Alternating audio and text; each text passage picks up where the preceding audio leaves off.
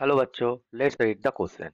Question says that is the statement 1 boron always forms covalent bonds and statement 2 the small size of B3 favors formation of covalent bond.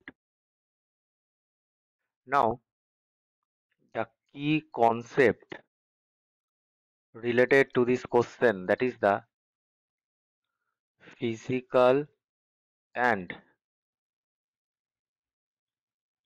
chemical property of boron. ठीक है? आप boron क्या है? Boron group thirteen element है। सो इसका balance cell configuration क्या होगा? N H two N P one ठीक है? अभी ये क्या है? बोरॉन सेकेंड पीरियड एलिमेंट है। तो इसका क्या होगा? साइज़ स्मॉल होगा। अब बोरोन क्या है? बोरोन हमेशा क्या करेगा? कोवैलेंट बॉन्ड फॉर्म करेगा। ठीक है? बाई शेयरिंग इलेक्ट्रॉन ठीक है? क्या है? नॉन मेटल है। सो नॉन मेटल हमेशा क्या करेगा? नॉन मेटल हमेशा कोवैलेंट बॉन्ड फॉर्म करेगा। अब बोरोन से बी थ्री प्लस अगर जाना है तो क्या होगा? इसका हार्ड आयोनाइजेशन करना होगा आई थ्री ठीक है, एक इलेक्ट्रॉन एन पी वन से निकलेगा, दो इलेक्ट्रॉन एस ऑर्बिटल से। एस ऑर्बिटल से इलेक्ट्रॉन निकलने के लिए ज़्यादा एनर्जी की ज़रूरत होता है क्योंकि s is closer to nucleus. So ये जो बी थ्री प्लस है, इसमें जो आई थ्री है इसका वेरी लार्ज एनर्जी है। सो वेरी लार्ज एनर्जी की ज़रूरत होगा। अगर बोरोन आयनिक कंपाउंड फॉर्म करेगा, अगर आयनिक कंपाउंड फॉर्म करेगा तो क्या होगा? बी थ्री प्लस होगा और कोई थ्री एक्स माइनस के साथ रिएक्ट करेगा।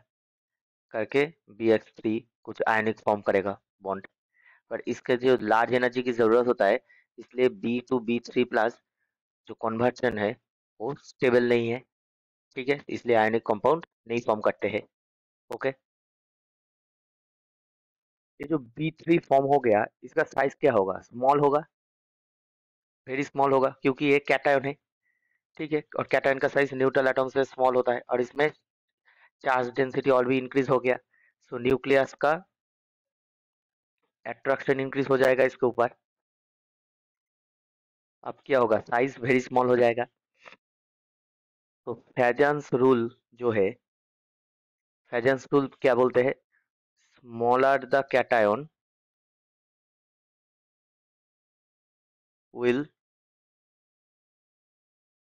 polarize the anion in very large extent and that will lead to form more covalent bond so इसका अगर साइज़ छोटा हो गया, क्या होगा? ये कोई भी एनायन को ज़्यादा पोलराइज कर पाएगा और इसमें जो बॉन्ड फॉर्म हो जाएगा, वो मोर कोवैलेंट हो जाएगा अकॉर्डिंग टू फैजन्स रूल ठीक है? जो बोरोन कोवैलेंट बॉन्ड फॉर्म करता है नॉन मेटल है ये तो सही स्टेटमेंट है। सो so, हमारा जो स्टेटमेंट वन है वन वाला जो स्टेटमेंट है boron always form covalent bond ये तो करेक्ट है।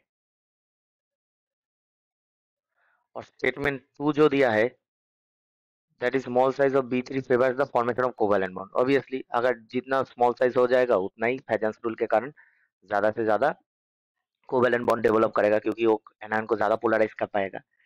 सो स्टेटमेंट टू जो है वो भी करेक्ट एक्सप्लेनेशन है। सो so, हमारा आंसर क्या होगा? ऑप्शन है statement one is correct and statement two is correct and statement two is the correct explanation of statement one यही है क्योंकि जितना छोटा एनायन होगा कैटायन होगा उस ज़्यादा से ज़्यादा एनायन को पोलराइज करेगा और मोर कोवैलेंट बॉन्ड फॉर्म करेगा। तो एक करेक्ट एक्सप्लेनेशन है। तो हमारा आंसर हो जाएगा option A I hope you will understand the solution very well best of luck